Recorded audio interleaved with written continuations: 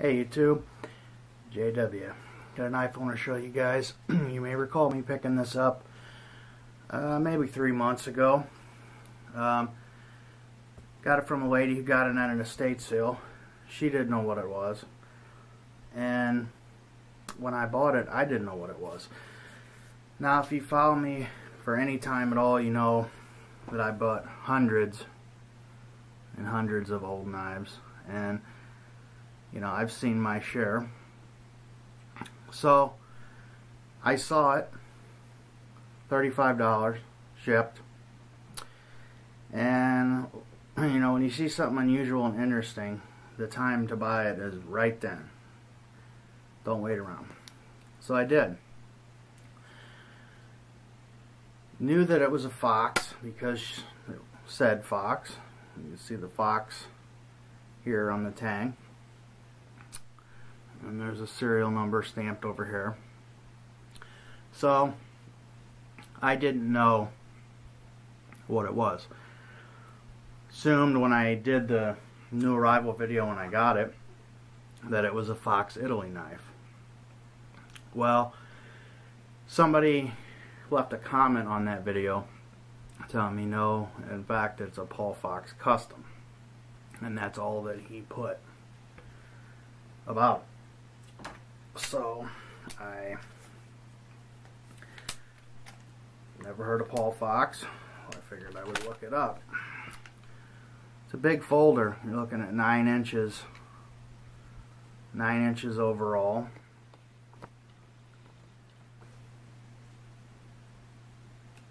And weighs about six and a half ounces, probably. So I looked up uh, Paul Fox online and Arizona Custom Knives pops up. Arizona Custom Knives sells well, a wide range of knives. I dealt with them in the past. I see about four Paul Fox knives pop up, all different than this one. Um, some of them are basically the same, they just look different, have different materials. This one seems to have, you know, this is stainless steel bolsters, a wood, whereas the one on there has titanium scales. Some of them have really elaborate, you know, this is more, looks more like a basic model. Um, but it's called a toggle lock. That's what that's called. And it's a Paul Fox custom, which Paul passed away in uh, 2012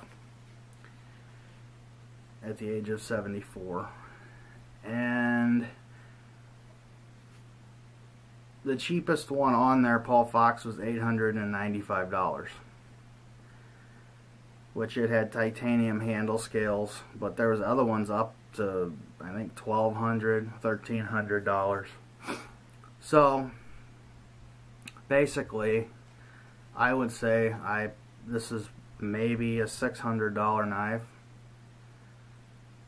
and like I said I paid 35 which makes this uh, the greatest deal that I have ever gotten. And not only that you know I didn't turn around and just sell it right away you know because uh, I'm debating selling it right now. That's why I decided to do a video on it before I get rid of it. And I just really really like the knife. It's really grown on me. I love that drop point spear point blade.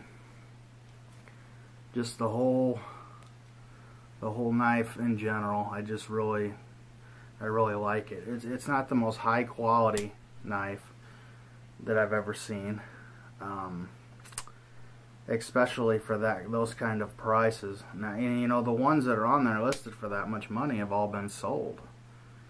I think there's one left that's really exotic looking for let's $1,200. Uh, yeah. 1250 One sold for 2000 The one like this sold for 895 Another one that they're calling like a, a this is the toggle lock flipper is what they're calling this.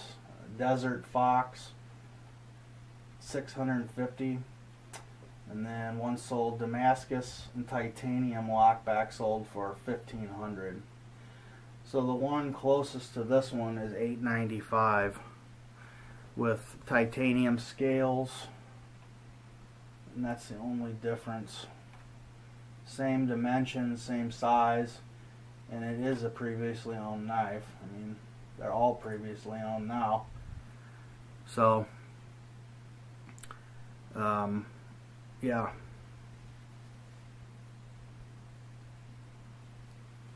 Really great looking knife. And you know, Paul Fox was a celebrated knife maker. He was in the Knife Makers Guild. Um, he had won many awards over the years and was just a well known person. You know, it has a little bit of blade play. And the ones that are listed on this website say the same thing. But I think really um, he was an innovator in design. You know, he was doing flippers and toggle locks and, you know, these kind of top locks were popular in the early 90s. So I think he just had a lot of innovative designs ahead of their time, and that's really probably the best way um, to describe his work. Um, but yeah, I'm thinking about letting this one go.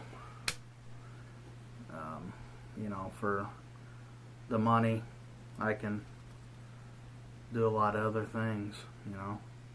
But man, it is just a great looking, great looking folding knife. And I was very lucky to come across it like I did. I'll probably never be able to duplicate uh, a deal that good again, I wouldn't think. You see that top lock, how it works. You just push either one, these go up. These have little screws inside of there and they spin freely two screws design. You see the fit and finish on it. Pretty good. Nice and smooth and flush. Everything is slick on this knife. So, I don't want to get too long with this video. But, that's it. The Paul Fox Toggle Lock Flipper. Best deal of my life. Thanks for watching, guys. I appreciate it. Hitting that like button, subbing me. Check me out on Facebook and uh, always popular Instagram. There's links and you can go to my channel in the banner. There's links to both if you want to go there and check it out. And I'll catch you on the next one.